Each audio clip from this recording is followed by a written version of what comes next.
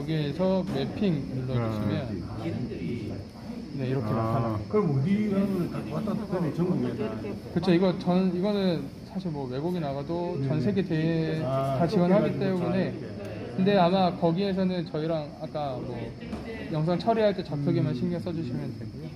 우리나라 하죠 이게 그러면 계속 업데이트 됩니까? 이 지형이 바뀌면 예를 들어 지우려면 삭제 연결하려면 우리 드래그처럼 드래그 당겨가지고 오. 이렇게 연결하고 마- 자 줄이면 좀 되고 아, 뭐네 그러니까 이제 뭐 확장은 컨트롤 또 Z는 없나?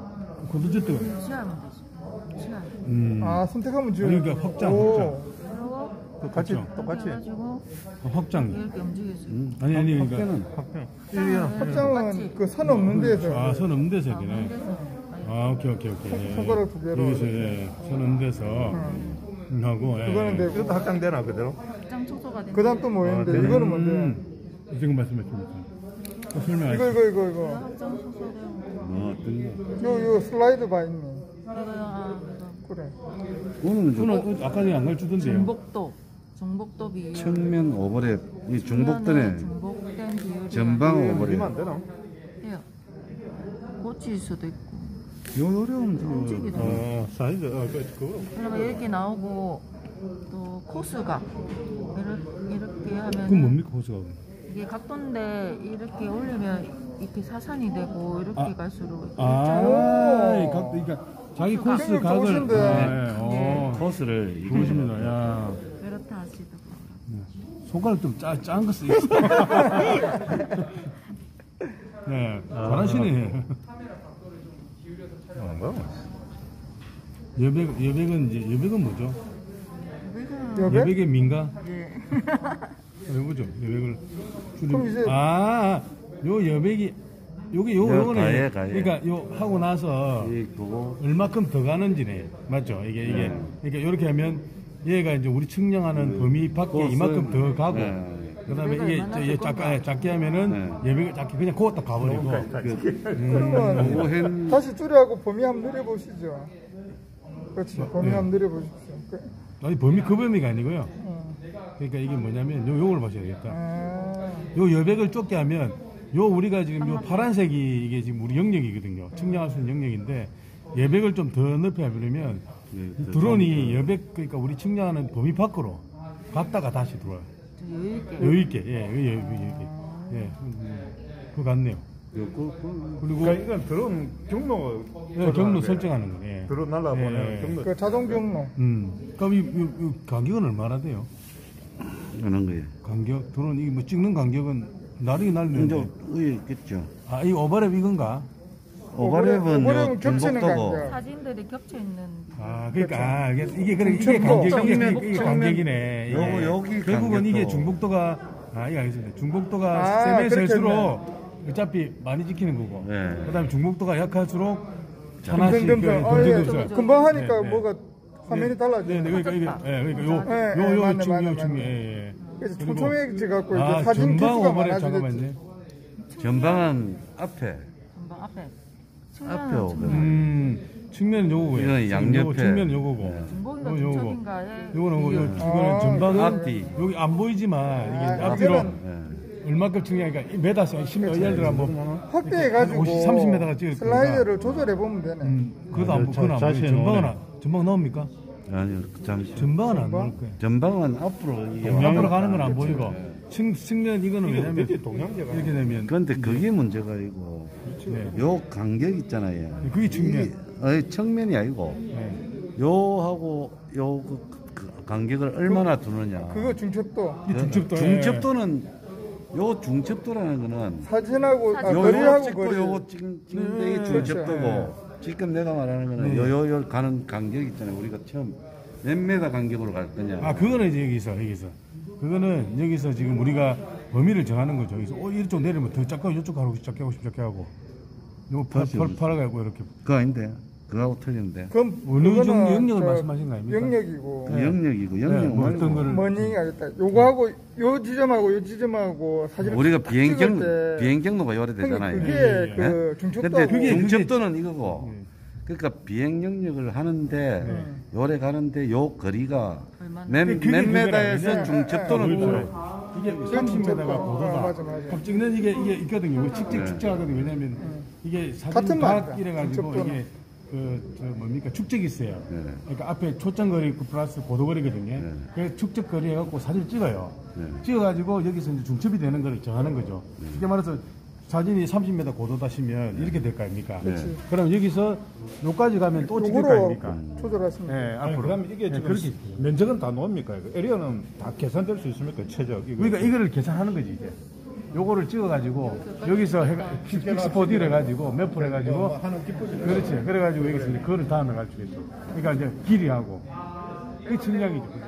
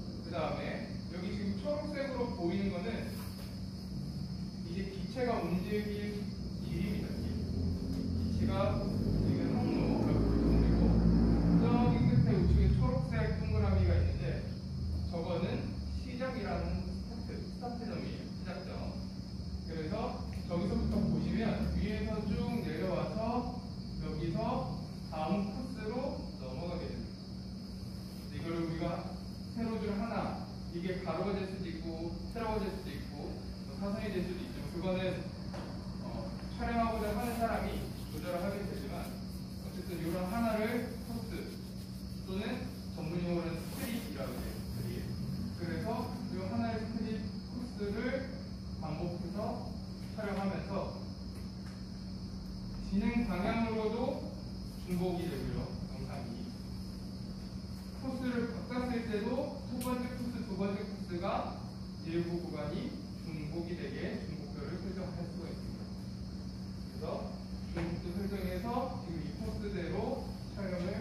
página.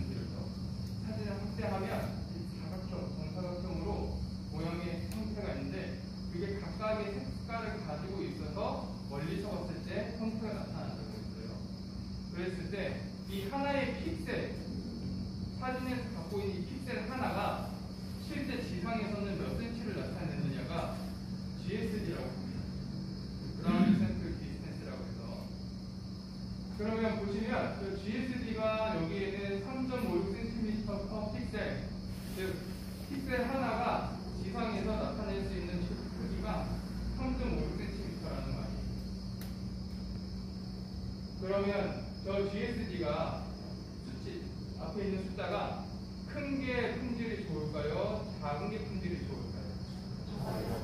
그렇죠. 작아야 영상에서 세세하게 구별돼서 자세히 볼 수 있는 거죠. 그래서 저게 작아야 되는데 그러면 저거는 뭐랑 관련이 있느냐? 카메라의 해상도가 가장 직접적인 영향력을 미칩니다. 달리 말하면 높은 영상 찍을 품질의 영상 부어야 되는데 드론 같은 경우에는 저기에 비치는 복지가 한 가지가 더 있어요. 왜냐면 해상도가 아무리 좋다 하더라도 선생님들 사진 찍어보시면 가까이 사진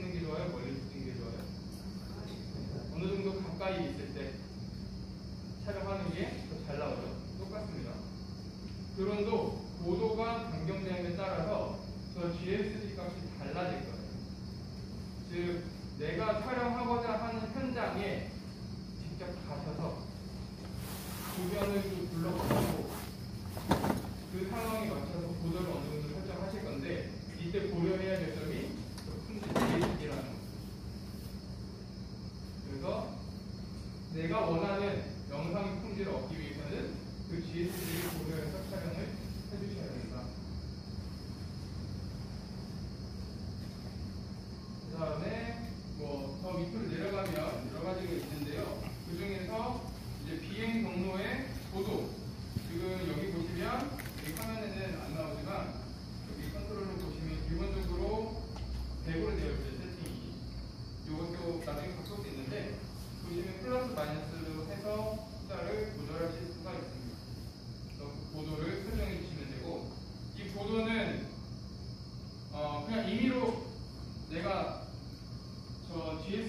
맞춰서 촬영할 수는 사실 없어요. 왜냐하면 현장에 가보면 우리나라는 산지가 많죠. 그래서 경사진 곳이 많아요. 그래서 경사진 곳에서는 경사진 곳에서는 기체가 이륙하는 장소가 높은 곳이 있고요. 그 다음에 어느 정도 낮다 하더라도 이 기체가 내가 촬영하려는 범위 내에 지형 지물 중에서 드론보다 높은 게 없어요. 그래야 안 걸리기 때문에. 그러한 것들을 현장 가서 직접 보시고 판단을 하셔서 진행을 해주셔야 돼요. 그런데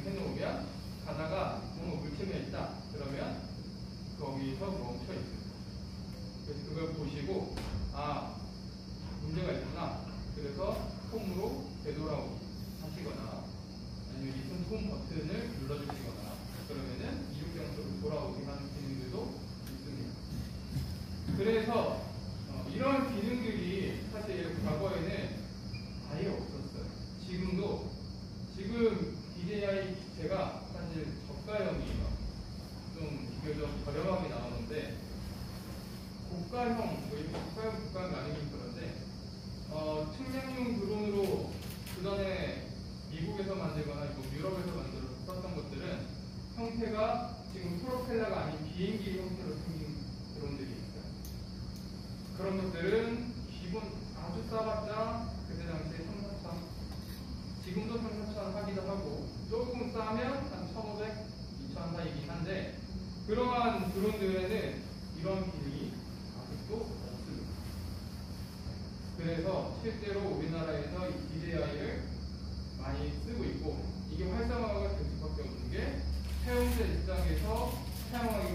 편리하게 되어 있기 때문에 지금 많이 쓰고 있고요. 어, 여기에서 어, 다른 거는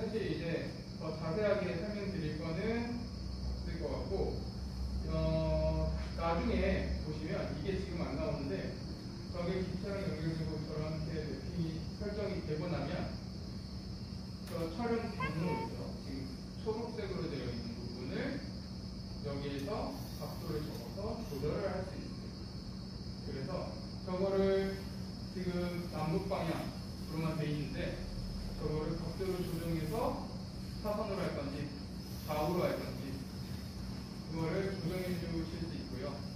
그 조정하는 거는 내가 촬영하는 대상지가 뭔지에 따라서